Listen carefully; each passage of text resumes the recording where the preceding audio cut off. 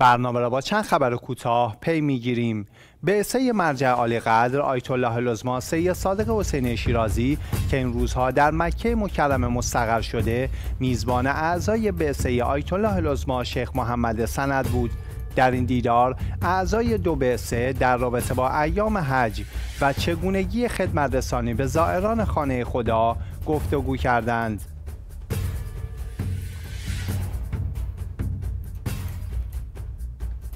علی بیت اللهی مدیر بخش زلزله و خطرپذیری مرکز تحقیقات راه مسکن و شهرسازی ایران نسبت به خطر تخریب کامل نقش رستم به دلیل فرونشست زمین و اهمالکاری مسئولان در رسیدگی خبر داد. نقش رستم مجموعه باستانی واقع در 6 کیلومتری تخت جمشید در استان فارس است.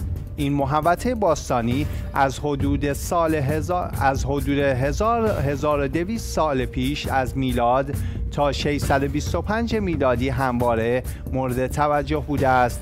آرامگاه چهار تن از پادشاهان هخامنشی نقش برجسته های پرشماری از وقایع مهم دوران ساسانیان بنای کعبه زرتشت و نقش برجسته ویران شده ای از دوران ایلامیان از جمله آثار موجود در این مجموعه است. این مجموعه در سالهای اخیر به دلیل وجود به وجود آمدن ترک های ناشی از فرونشست زمین در معرض تهدید قرار گرفته و اکنون بنابر هشدار علی بیت اللهی این تهدید به مرز تخریب کامل این مجموعه رسیده است.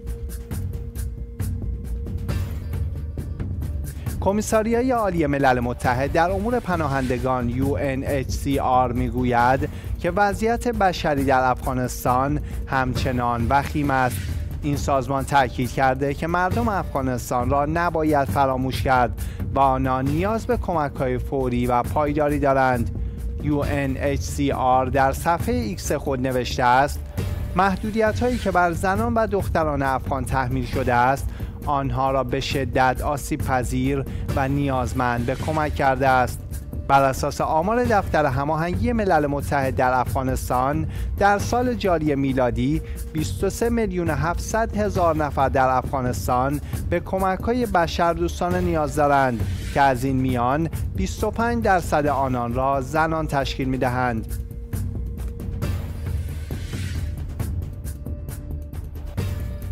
رسانه های پاکستانی گزارش دادند که یک فرمانده و شش عضو ارتش این کشور در انفجار مین مغناطیسی در ایالت خیبر پختونخوا کشته شدند.